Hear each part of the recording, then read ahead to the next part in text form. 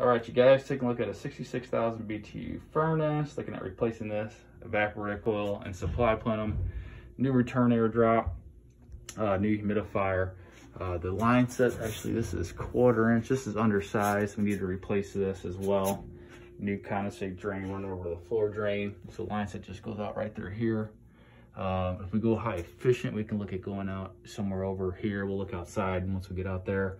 Uh, I got a five inch swivel T, three inch going to the water here, four inch going to the furnace.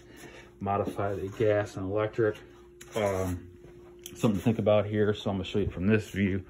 You know, if we bring furnace, this is 14 and a quarter, so 17 and a quarter is gonna put us a little closer to the water heater. So if we go this way, we still gotta allow room for a five inch filter and then return air drops. We'll have somewhat of an offset there as well. Um, so humidifier, we may want to look at putting on the face of this or, you know, at least on the back, just so there's still some room to get through here. Um, got measurements of the return and supply.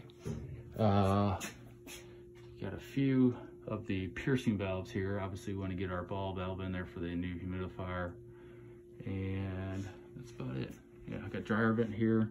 So obviously we got our three foot code requirement to be away from that if they go high efficient. Water heater is newer.